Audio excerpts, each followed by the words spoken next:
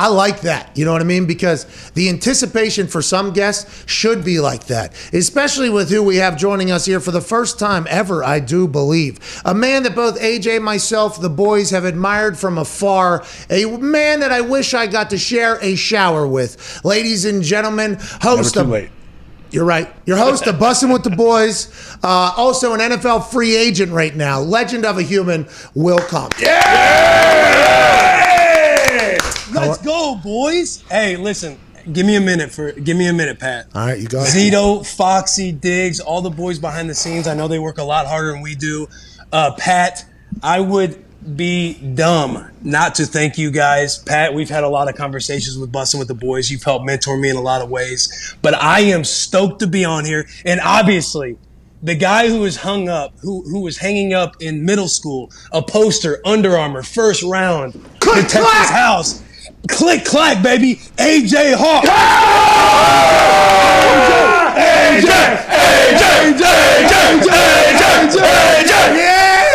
Yes. That's what I'm Thanks talking about. Thank you, Good job. Hey, Will. Pat said when guests come on, they need to come hard right off the jump. So good. You came re- very, very hard right All there. right. So I- I See, appreciate when you had that poster up, you didn't know that was the type of human it was, obviously. Uh, Yeah. Um, AJ and I have talked about you, Will, uh, off air, but I think the overwhelming, resounding opinion from all of us is I wish I was on a team with you, dude. You seem like one of the coolest dudes of all time. That Bussin' with the Boys with Taylor is a very, very good show.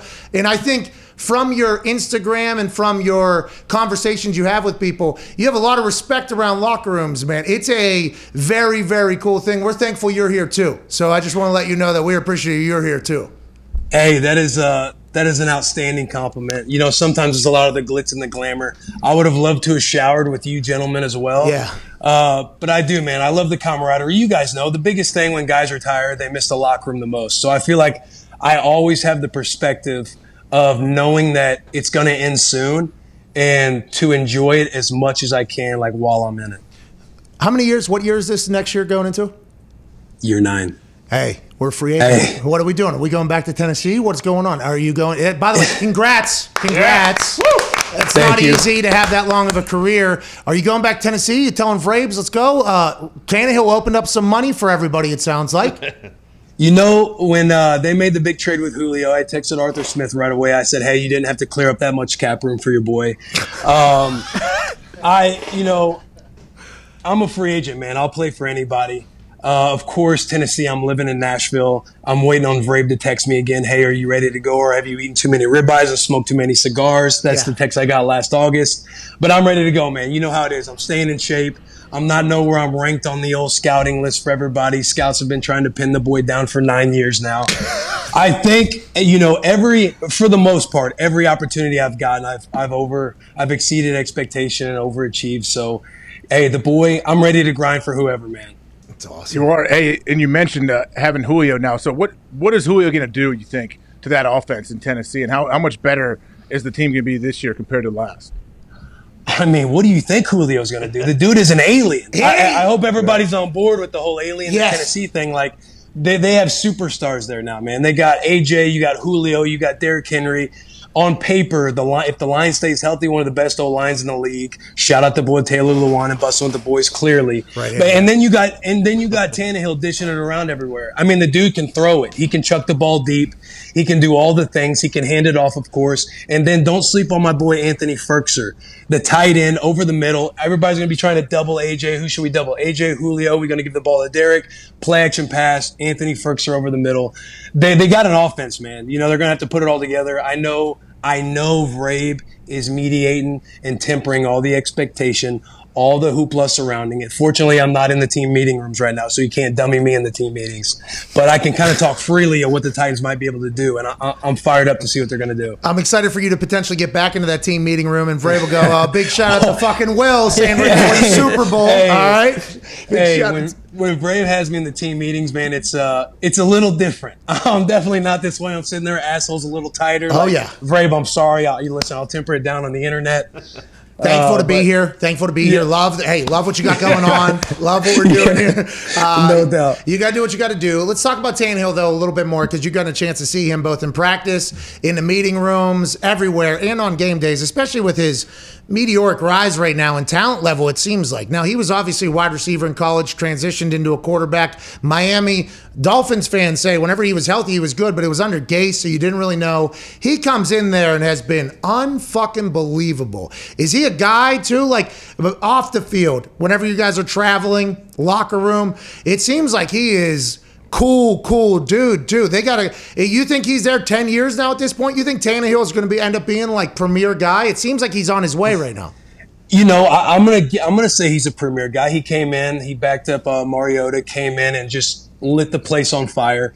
Uh, from my understanding, he's been in the, he's gotten to be in the same offense for a long time, and he's kind of just taken this thing head on. He's he's a pros pro. Like yes, he is one of the boys, but he's also one of those QBs. He keeps it very professional. He's got a wrench up his ass sometimes walking around the locker Ah. room because you know, hey, because you, you know you know what I mean. He's he's commanding an entire offense. But he is one of the boys, man. He has fun. He knows when to have fun. But for the most part, he knows how to be a pros pro. But I- I'm a big fan of Tanny. Hey, what about Arthur Smith? You mentioned him. What's he going to be like as a head coach in Atlanta? I know Pat, you've had him on the show before and talked to him. He seems like kind of a reserved guy. Like, what kind of leader is he?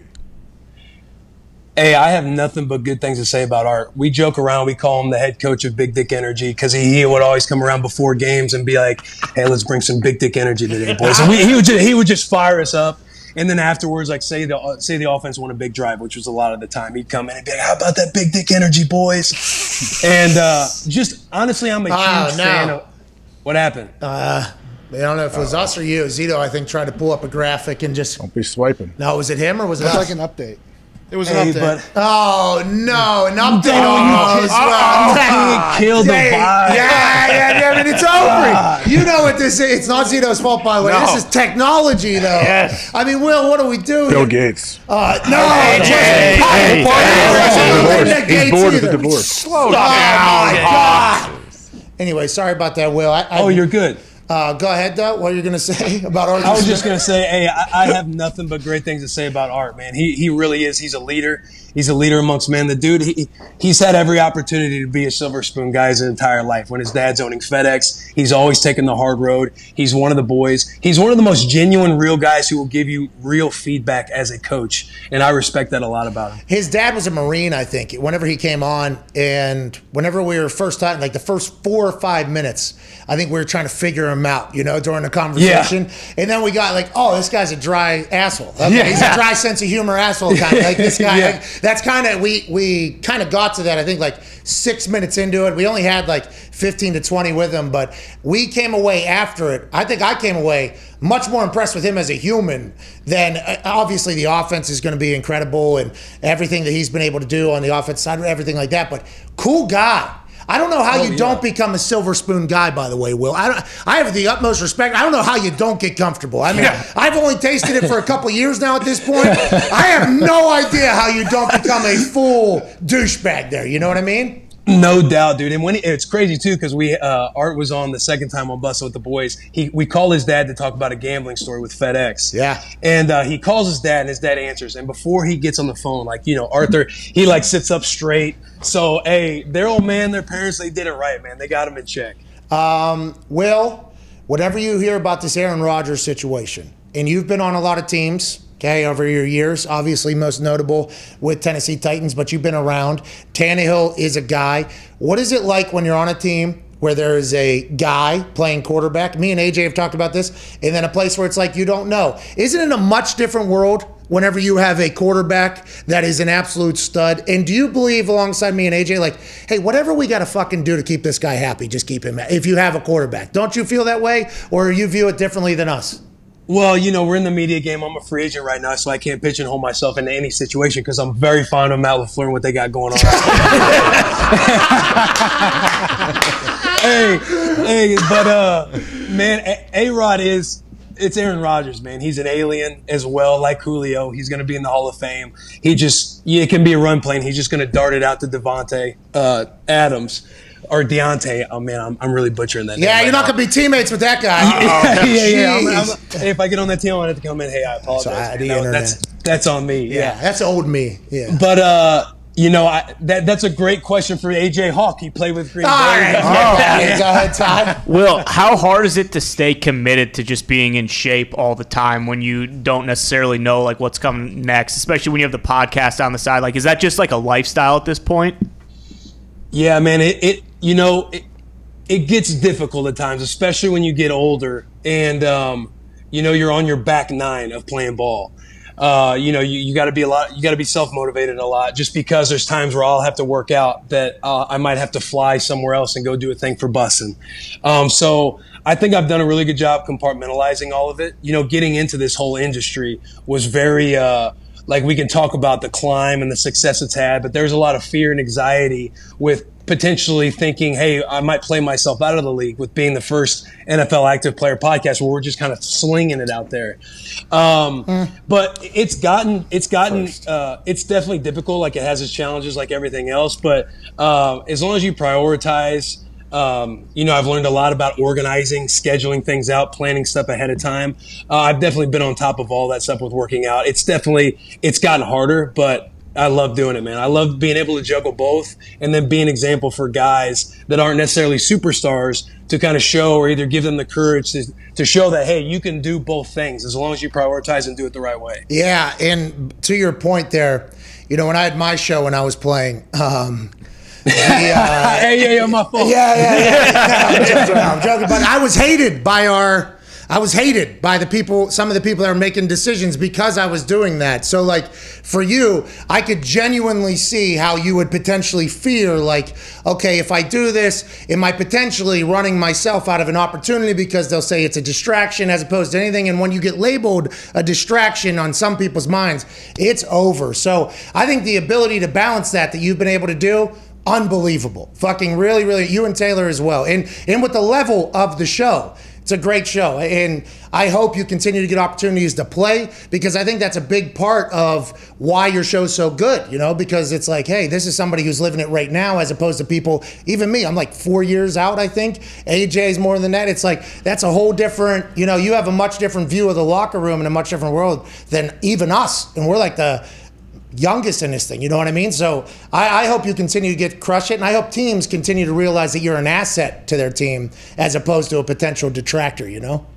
Oh, I appreciate that, man. I, I, I feel like over the last couple of years, I, I've been able to kind of uh, like show that. Yeah. And it, it was definitely like there's a the whole fear factor too. Like it's not like I'm like a Taylor or even you, like you were a Pro Bowl punter that decided that route. Still a like punter. I'm, I'm right, still a punter. Yeah, I know you can still kick the ball. No, no, no. But no, I'm saying, but on the team, I was still the punter, though. You know, like For, yeah, for sure. But I'm saying, like, as somebody who year in and year out is more of a, a, a minimum guy, I've been on minimum deals. And if you, I can easily get labeled that distraction. It's like, okay, well, this guy's not worth it at all because he's not going to, you know, X, Y, and Z, whatever they want to say. So there's definitely like that element to it. So I've been glad and fortunate to have been able to do it on the Raiders and uh, the Titans last year. Yeah, but I think the football guys listen to your show and they're like, "Yeah, we want that fucking guy in our building." You know, like I, I, you know, I think you're always gonna. That's my immediate take from that is like, I bet that Titans locker room is fucking awesome over there. Yeah. You know, that's my immediate. Go ahead, AJ. Sorry about that.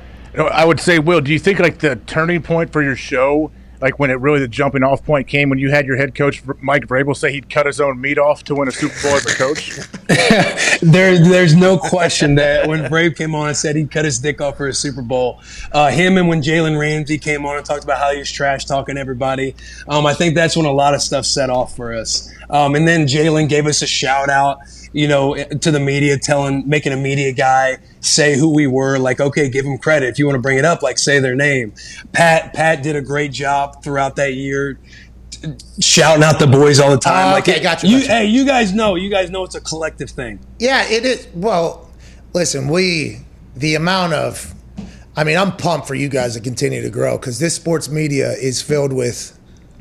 I mean, there are some slap dicks out Yeah. here. Oh, yeah. I mean, there are. I mean, it is a real thing. Um, Diggs has a question for you, but before we get to that, and by the way, COVID Cowboys, big fan of yours. You didn't shout him out earlier, but uh, kind of. Oh, he did, Diggs. Yeah, okay, I'm so sorry. I thought he maybe you maybe pissed on this cowboy.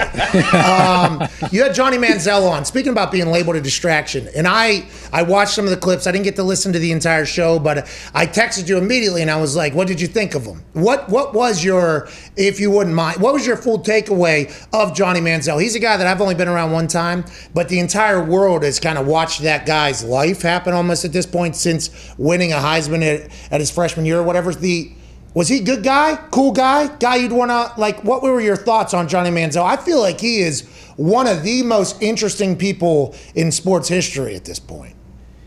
Yeah, I thought he was awesome. You know, there was uh, questions I wanted to ask personally to where it was like he felt because I know he's he's done a lot of interviews talking about his perspective on everything. And you're right, like literally everyone has gotten to watch his life kind of unfold because he was in the same breath as like a Tom Brady and a LeBron. Not because he played at that level at the pro level, but because of what he did in college. He was a household name. He was Money Manziel. And so I was curious how he would respond when I'm sitting there being like, you know, hey, as an undrafted guy watching you, watching this all unfold, it's like you're watching a, a first rounder just swindle an opportunity where I Yeah. would kill to have an opportunity like that. Or Taylor asking him, hey, do you have any regrets? Him saying no, obviously it's taken a long time for him probably to get to that spot because I can only imagine um, the mental when you come down from that peak. Oh, yeah. Um, but even him saying no to Taylor and Taylor just kind of look at him and be like, that's interesting. And then kind of just leaving some dead space to where it's like, what's going to happen here? Um, I thought he handled himself very well. The perspective he has, the extreme owner.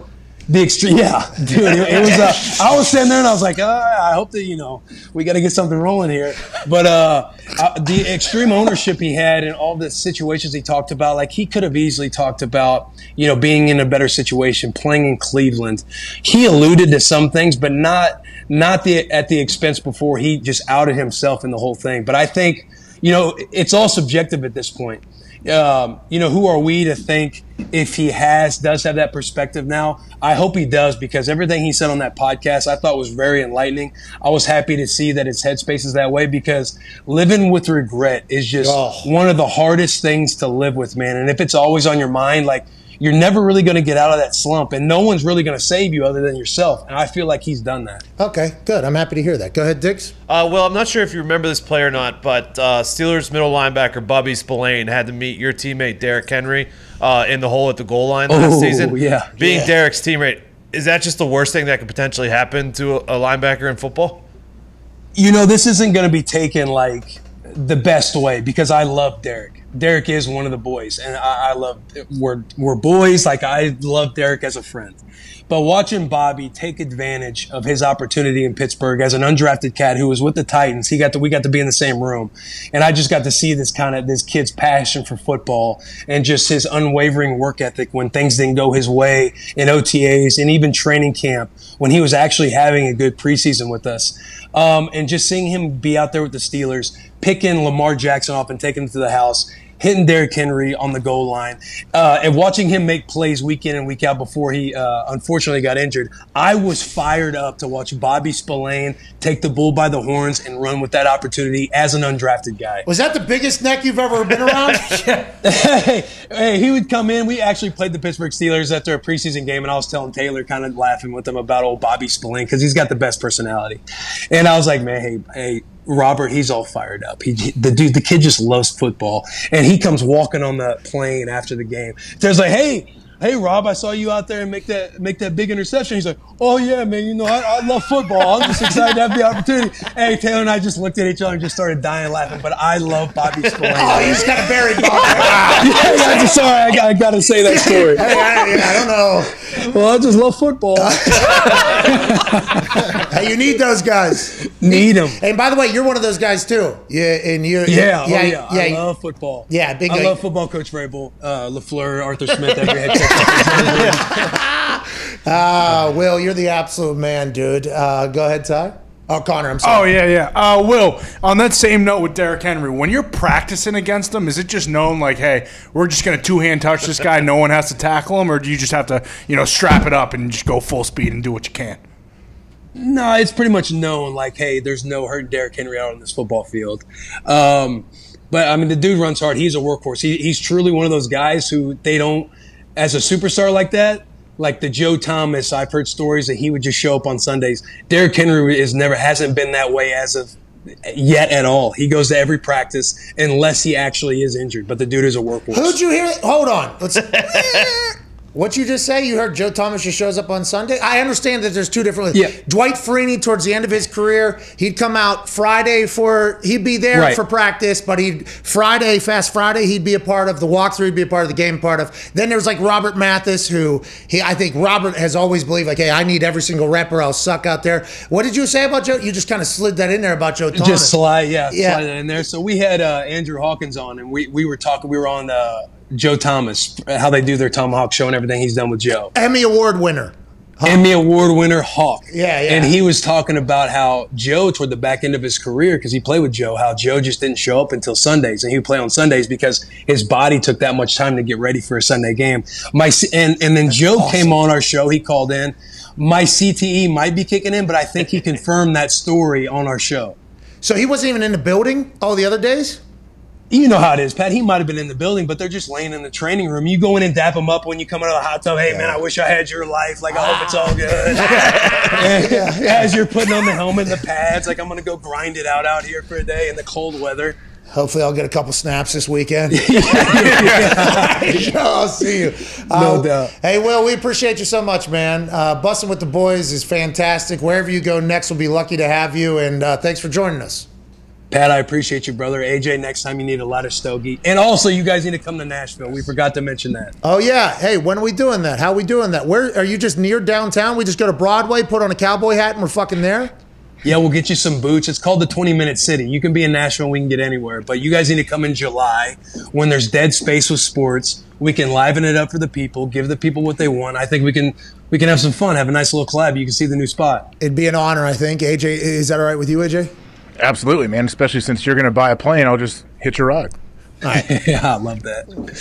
By the Hey, I appreciate you boys, man. Hey, which one do you love? Do you love that I'm buying a plane, or that he just kind of shit on me buying a plane? Which one? Both, both, because Taylor will do the same thing. I'm flying Southwest, he's flying private jets. Like, you know what? When somebody's got that PJ, you take advantage. Hey, bingo. We'll see you in July, hopefully. Ladies and gentlemen, Will Compton. Hey, great teeth on that son of a bitch, huh? I said the same thing to Ty. I was like, this guy's teeth are so white. He's, he's, he was the most handsome, white, bland face that was kind of lying there for a while. What a guy. Hey, hey, how's it feel? You know? Poster up on the wall, one of the legendary guys in the league right now. You're Hero. click clack, AJ. I don't know if there was an Under Armour poster. Yeah, there Oh. Yeah, shut dude, up. They yeah, were trying was. to get every dollar. You you took every dollar from them, Uh-huh. so they had to try to make it back as much as they possibly could. They had you everywhere. They had you doing this. They had you doing that. I mean, there was. Hey, PK Subban is in Dick's. He has a huge like picture of him up at Dick's. Is he still a current player? So he's current player. He also just signed on as an E ESPN analyst for their new hockey coverage, which, by the way, we're big fans of. I thought he was somebody that they should have been marketing because he could talk. He also, by the way, not normal black hockey player. He happens to be very, very good, has a great personality. Then they kind of just, you know, passed him, you know, shoot him off. And now it's like the NHL is maybe has a little change of heart. Like, oh, this guy, good for our. Yeah. Oh, they're good for our sport. Okay, we want people to oh. potentially know that we exist out here. That's good news. Did they team him up with Barry Melrose? Do we know? Hey, listen, that guy, best suit game in the biz. Ask about his mullet. He will not respond in a positive fashion. Damn it! I was on a show with Dan, me and Dan Dakich. I was co-hosted alongside Dan Dakich. I think we had Barry Melrose on. What's that? we took a break when AJ's internet was all messed oh up. fuck!